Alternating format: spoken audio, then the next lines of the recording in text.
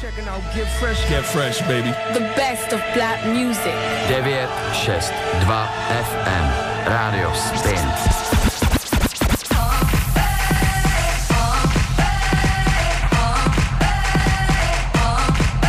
Jsem něco jako Marek Eben českého hiphopu, a, protože jsem hodná postava. A, dělám na rádiu Spin moderátora 12 až 3 každý všední den, a, což je vlastně prime time a dělám to už asi 5 let, takže čekám, kdy mě vykopnou a že jsem moc starý třeba nebo tak. A hodně píšu, teď bohužel spíš, tak to si děláš špatně, ale ne. Tak to vůbec jako. Hodně píšu, teď už bohužel spíš tiskovky a tak. A píšu na stránky Spinu o hudbě, ale tam to jsou jenom takové zkazky krátký. A, bohužel píšu méně věci, které bych třeba chtěl psát. Psal jsem hodně blogy a nestíhám si utřídit myšlenky, než bych si nenašel čas na psaní, na psaní blogu, ale uh, utřídit si myšlenky je trošku náročnější, když člověk uh, lítá všude možně a hraje a tak dál. Poslední rok hraju jako DJ, mega mě to baví. Uh, zdůraznil bych možná party DJ, protože pro některý, uh, pro některý lidi, když řeknu o sobě, že jsem DJ, tak se jim otvírá kudla v kapse, protože nedělám zběsilý skreče půlhodinový a spíš se učím, spíš se učím prostě party, baví mě party. Pořádám nějaký mejdany, baví mě žít, no.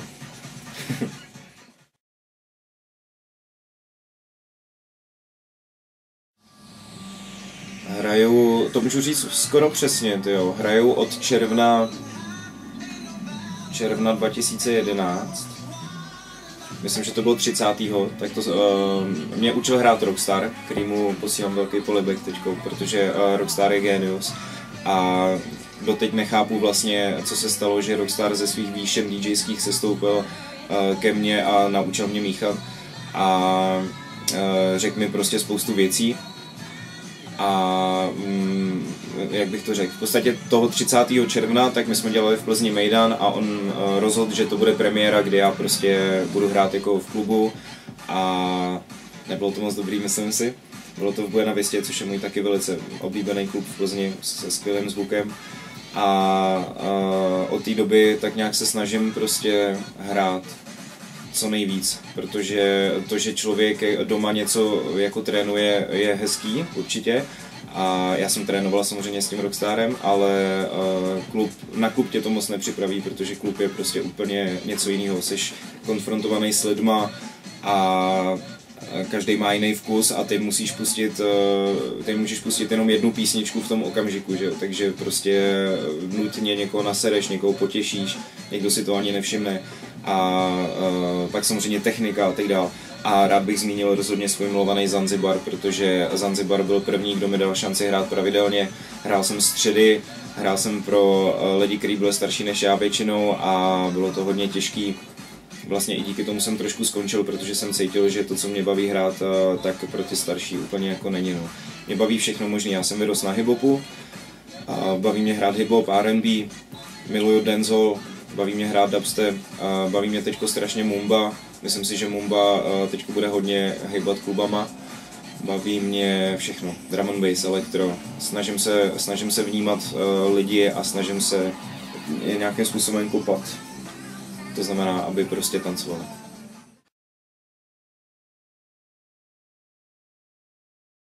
To je dobrý, že si, že si řekl zrovna jakoby rap, protože já jsem se samozřejmě pokoušel rapovat taky, když jsem byl mladý, ale uh,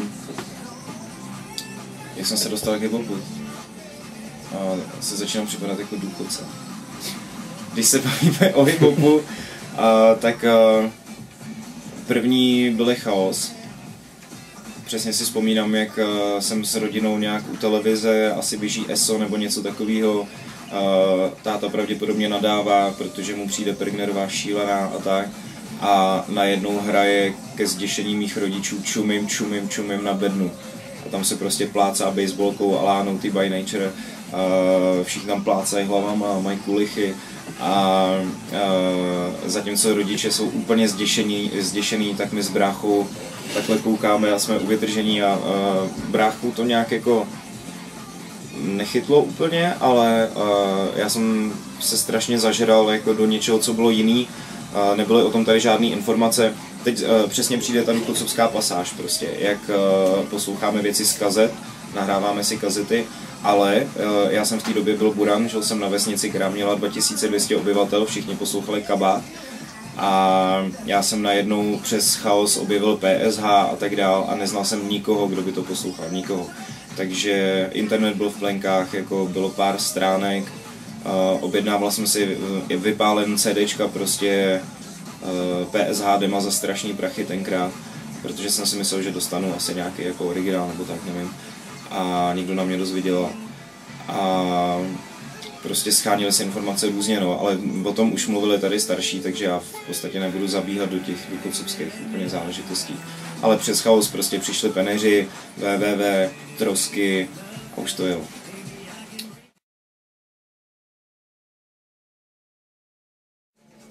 Hm, tak to jsem se přesně bál těchto otázek, jo protože uh, to se samozřejmě uh, během let vyvíjí. Navíc za, za, tě, za ty roky člověk jako nazbírá prostě filmy a seriály, který, který jako nějakým způsobem miluje.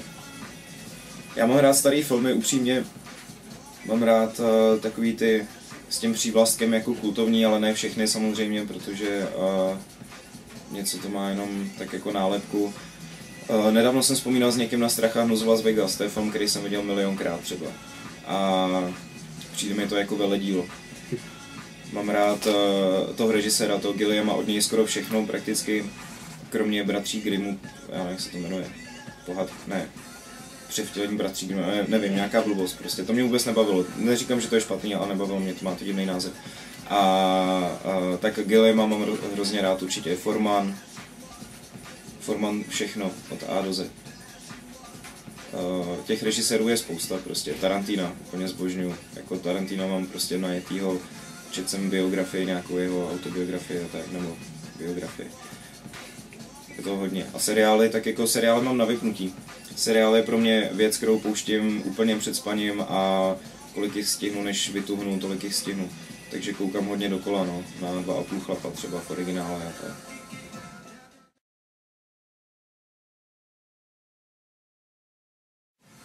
Jako v podstatě, když, když, řeknu, když řeknu jména, tak to budou lidi, kteří tady nějak jako fungují víceméně všichni, tak uh, každý má něco do sebe.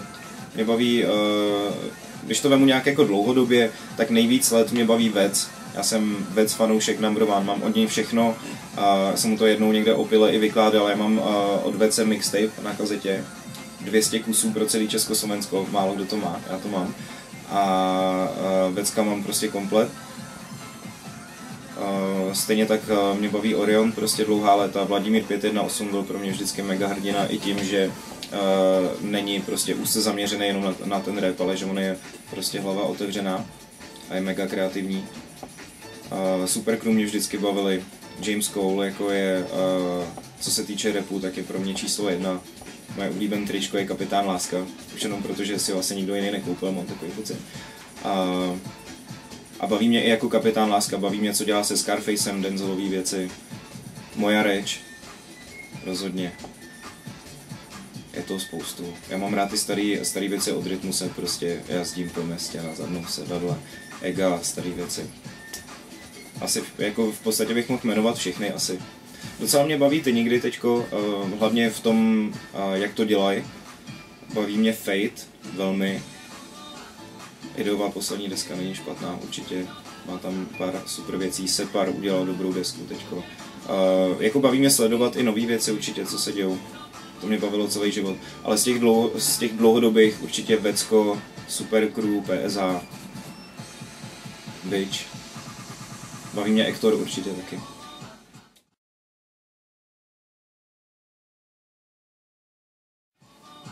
To je dobrá otázka as, jako ve chvíli, kdy mě to nebaví, tak asi to moc jako nevnímám, no. Jako přiznám se, že jsem nepřišel na chuť Igorovi zatím. Baví mě pár, pár jako momentů a celý track asi mě zatím žádný nechytil. Tyjo, teď naštvu lidí. Má takový jakoby radikální fanoušky.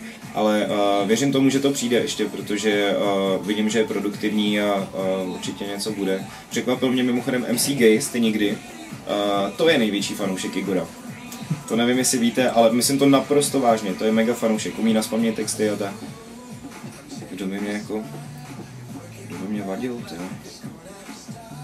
Já moc takhle asi nepřemýšlím, no. Prostě když, když mě to nebaví, tak to moc jako neposlouchám. No. A nepřemýšlím nad tím asi nějak jako významný.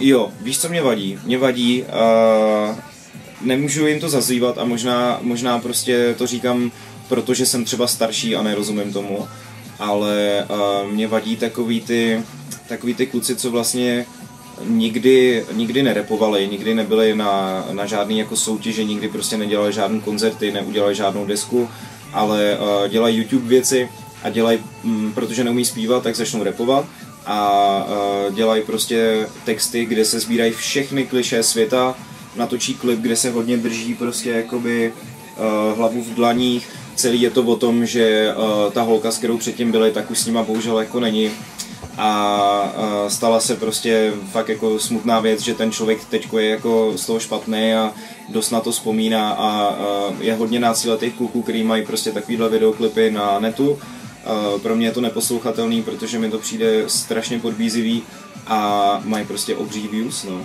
Takže já zároveň jako jsem pokorný a říkám si, OK, jako má to svoje publikum a to je asi velký a já tomu asi prostě nerozumím. Ale abych řekl pravdu, tak tohle mi vadí, no. Jsem smutný, byla tu a už tu nejsi a teď mě to bolí a moje srdíčko je na dva kusy prostě a slzy kanou zatímco prší a strašný. 5 milionů views pod bízivý sračky, prostě strašný. Já rád chodím sem, musím říct. Já to tady mám rád prostě a i tím, že sídlíme s rádiem jedna prostě vedle, a, tak se tady neustále potkávají zajímaví lidi. Rád chodím do Zanzibaru, a, protože tam všechny miluju a, a myslím si, že to je nejlepší bar v Praze. Je dobrý, to, že to můžu říct takhle jako na kameru a nikdo neřekne, že to je reklama. A, to není jenom reklama, to je fakt srdcová záležitost.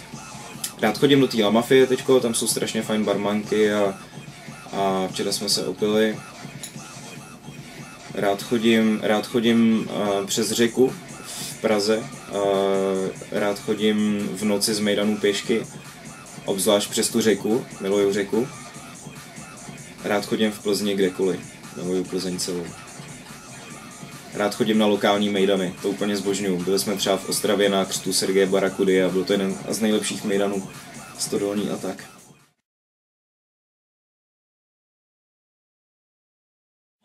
Mám oblíbený drink Jägermeister určitě, ale teď mi to nejde úplně přes srty, protože je mi trošku špatně, ale uh, to je tím, že jsem ho nepil ledově nachlazený, ale že jsem se nechal manipulovat do panáků ráno, takže takže to je jako horší potom, ale uh, miluju Jägermeister, miluju vodu s citronem, miluju čerstvý pomerančový džus.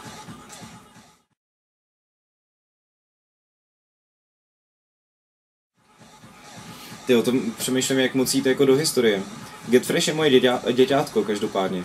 Uh, my jsme dělali na rádiu Wave, uh, tak jsme s Toxem chvíli vysílali rap game a to bylo takový, že uh, uh, Tox byl v podstatě jako vůči, vůči postava a on je vůbec jako uh, takový jako vůči typ a já jsem se moc jako neprosazoval, jak se to potom rozpadlo a uh, já jsem toužil udělat něco prostě fakt jako podle svýho a tenkrát na tom, na tom waveu vznikl, vznikl Get Fresh, se kterým jsem měl ale docela potíže, protože přestože to bylo po desátý, tak mě nutili, aby hrál clean verze a českých a slovenských věcí, což mi přišlo za prvý v té době se clean verze skoro nedělali, v té době udělali jednu clean verzi kontrafakt, byli první, mám pocit dokonce.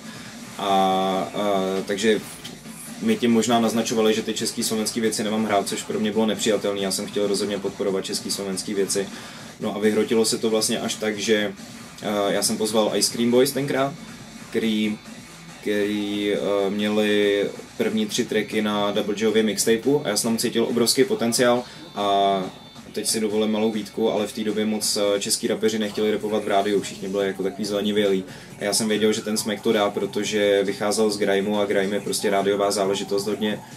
A kluci úplně zapálili studio, byla to dokonalá show, prostě kdy tam hrál Double J, byl tam uh, Shadow D, byl tam Smek a bylo to šíleně zprostý na tom rozhlase, na tom rádiu Wave. A poslouchal to zrovna generální ředitel Českého rozhlasu, takže nějak se mu to nelíbilo nepochopil úplně grime.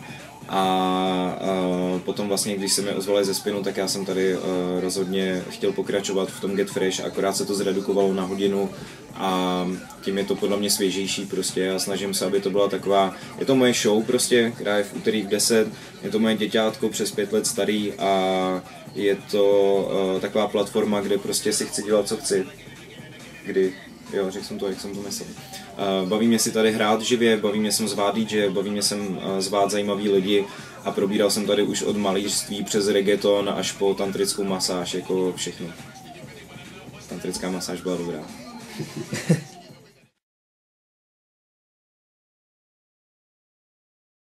Uh, velký setkání byl pro mě Ice Cube třeba, který, který ho poslouchám celý život snad. Uh, 50 byl zajímavý určitě a potkal jsem se prostě se spoustu zajímavých lidí a i nějaký rozhovory nevyšly na poslední chvíli, třeba to nikdy, nikdy člověk neví, jak to dopadne. Mám takový jako ambivalentní vztah k rozhovoru s Pussycat Dolls. Já jsem dělal rozhovor s Pussycat Dolls a já jsem nebyl schopný, já jsem se na to připravoval, protože jsem moc neposlouchal tu hudbu. Tady upřímně jsem chtěl hlavně se potkat s Nicole Scherzinger, jako. Tady mi nešlo vůbec o rozhovor, tady jsem se vnutil uh, proto, abych se potkal s Nicole Scherzinger abych se jí podíval do výstřihu prostě a řekl si jo, prostě viděl jsem, viděl jsem Nicole Scherzingera jí výstřih sám jakoby na svý oči a tak. A, a zároveň, když jsem se připravoval na ten rozhovor, tak jsem zjistil, že si nejsem schopný zapamatovat ty ostatní členky Pussycat Dolls. A trvalo to týden, a když jsem šel na ten rozhovor, tak jsem byl úplně vystresovaný, protože jsem věděl přesně, že poznám Nicole, že ty ostatní mají taky už nějaký jako trošku solový ambice, ale absolutně nejsem schopný si je zapamatovat. A na poslední chvíli to prostě padlo z nějakých jako technických prostě kravin, tak padnul ten rozhovor a mi se ulevilo a šel jsem se podívat na koncert.